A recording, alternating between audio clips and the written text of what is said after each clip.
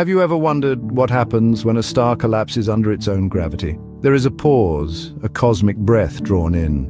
The result, my dear listeners, is one of the most mystifying objects in our universe, a black hole. These celestial phenomena are the ultimate devourers, the titanic jaws of the cosmos. Within their grasp, the very fabric of space and time bends and contorts. Their gravitational pull is so formidable that not even the fastest known entity, light itself, can escape once ensnared. Picture a cosmic whirlpool from which nothing that enters can ever return. It's a one-way trip into the abyss, into a place where our understanding of the universe falters and fades. These cosmic beasts with their insatiable hunger are one of the universe's greatest enigmas.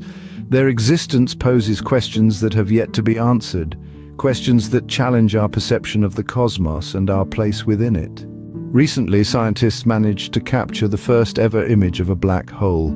This remarkable feat was achieved using a global network of telescopes aptly named the Event Horizon Telescope.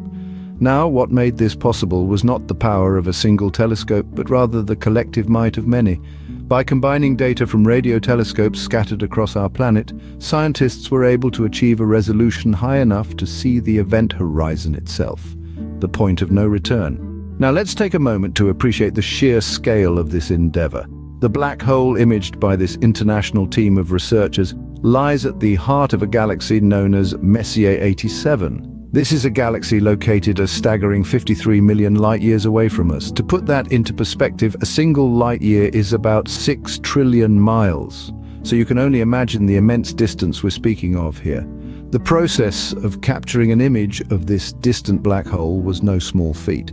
It required the precise coordination of radio telescopes from all over the world, working in harmony to observe the same patch of sky at the same time. This method, known as very long baseline interferometry, essentially transformed our entire planet into a giant radio dish, capable of discerning details far beyond the reach of any individual telescope.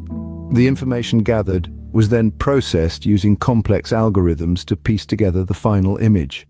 It's a bit like putting together an intricate jigsaw puzzle, but instead of a picture on a box to guide you, you have streams of data and mathematical models. The outcome was a dark central region surrounded by a bright ring of superheated gas and plasma, marking the precipice where gravitational forces overpower even light particles. This image, the first of its kind, gave us an unprecedented glimpse into the shadowy depths of these elusive cosmic giants, illuminating our understanding of the universe and its most enigmatic inhabitants, the black holes.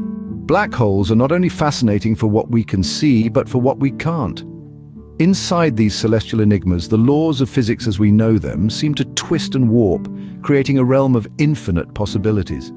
One of the leading theories about what happens inside black holes revolves around the concept of Einstein-Rosen bridges, or as they're more commonly known, wormholes.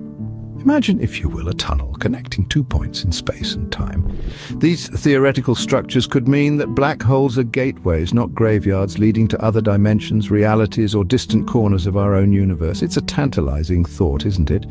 The idea that hidden within these cosmic beasts are portals to places we can scarcely imagine. As we develop new technologies to peer deeper into these cosmic beasts, who knows what further mysteries we will unlock? Do share what other bizarre space phenomena you'd like us to cover in future